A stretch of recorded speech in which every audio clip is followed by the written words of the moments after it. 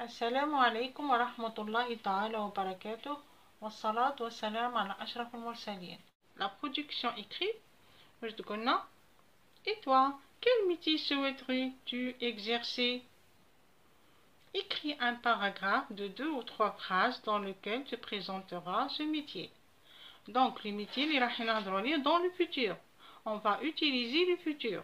أنا اخترت لكم الميتي أو المهنة تاع البيدياتر البيدياتر هو طبيب أطفال صغار إذا واش نقولوا في لا برودكسيون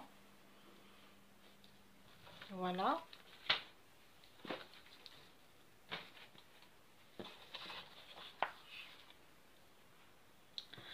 Moi, quand je serai grand ou bien grande, je souhaiterais devenir un pédiatre.